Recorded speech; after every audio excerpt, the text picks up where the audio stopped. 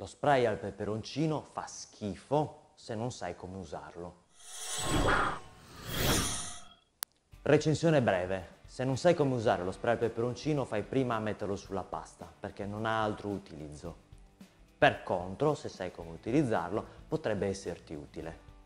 Non voglio essere troppo duro sull'utilizzo dello strumento, ma voglio essere duro sul fatto di affidare alla propria difesa personale un oggetto esterno senza avere la più pallida idea di come utilizzarlo.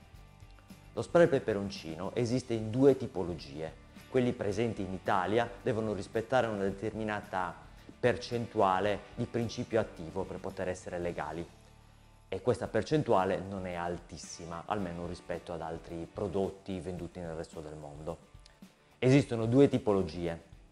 Una è quella ad area, per cui quando spruzzi il getto viene disperso all'interno di un'area, e l'altro è quello balistico, per cui quando spruzzi hai un getto, esattamente come una pistola d'acqua. Tutti e due hanno dei problemi.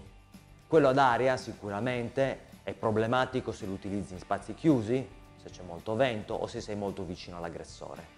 Quello balistico ha la problematica che deve avere una buona mira, ovviamente, e che se sei molto vicino devi considerare che lo spruzzo può rimbalzare.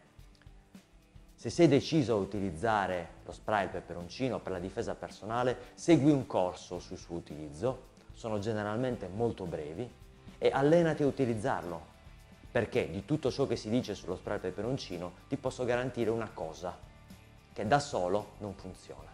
E infine aspetto i tuoi commenti sotto il video, ricordati di iscriverti se non l'hai ancora fatto, mannaggia a te, e di cliccare sulla campanellina in modo tale che possa bombardarti di mail quando un nuovo video è uscito. Non ti preoccupare, sono molto pigro, non esce più di una settimana.